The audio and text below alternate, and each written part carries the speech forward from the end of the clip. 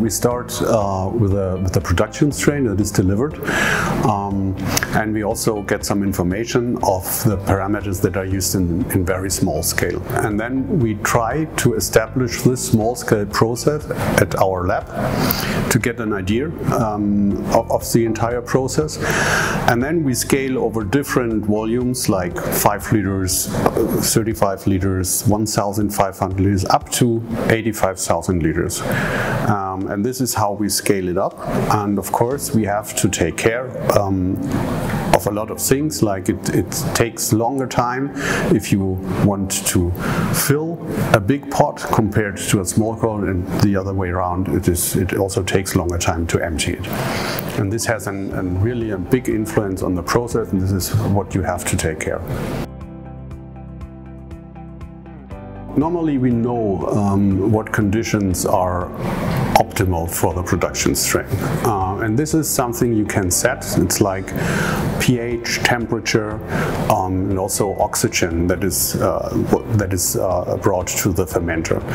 Um, and and then you you add a lot of sugar, a carbon source um, that should energize your production strain. Uh, and when the production strain is used off the sugar, it starts normally to produce uh, some acids, which lowers the pH, and you have to always to keep this pH at optimal thing. So this is something that is very important.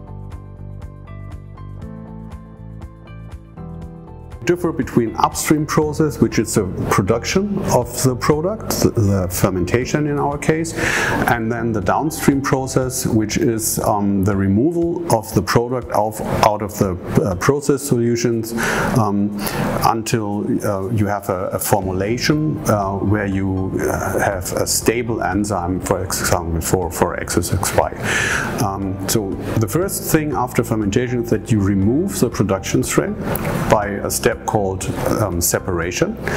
Uh, you can use their uh, a, centrifuge, for example, but also um, microfiltration. Um, and after the total removal of the production strain, you normally lower the process volume by a second filtration, uh, which allows water and small organic molecules to pass the filter, but not the enzyme. So you can uh, concentrate the enzyme, and you also can um, exchange the buffer system to have a precisely defined um, process solution at the end. Uh, and then the last step normally is formulation depending on the needs of the customer. There is enzymes that, that are really not robust, not stable, and th there are um, enzymes that are very stable, as for example Axxess XY. And it helps really a lot if you have a stable enzyme, because in all these steps you enter a lot of energy in the process, and energy is not always very beneficial to, uh, to enzymes. As you maybe are aware, if, if you cook uh, on Sunday morning an egg, you destroy uh, in, in the end the egg, the enzyme in the eggs um, before you eat it. And this can happen also to an enzyme in a process.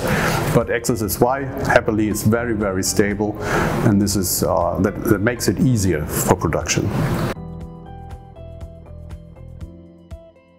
It is very important uh, that our final product does not contain production uh, our production strains. This is um, uh, more or less a rule by the European Commission and the German uh, government.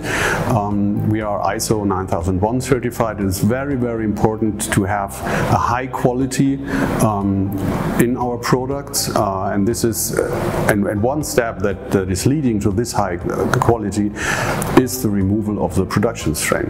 So in, in our final product, we almost do not have any um, microorganism. Um, for the, the, final product um, is analyzed not only regarding um, activity, which is important for our customers, but also for absence of production strain, um, for absence of toxins, for absence of heavy metals. So this is uh, all these analyses uh, are done with, with every batch that, that is produced here. First, um, one of the, the biggest um, challenges is uh, that you need more time uh, to um, to move that high amount of process volume. That is simply takes more time. And what's also very important um, is to, to get enough oxygen in the fermenter vessel to guarantee uh, full respiration for your, for your strain.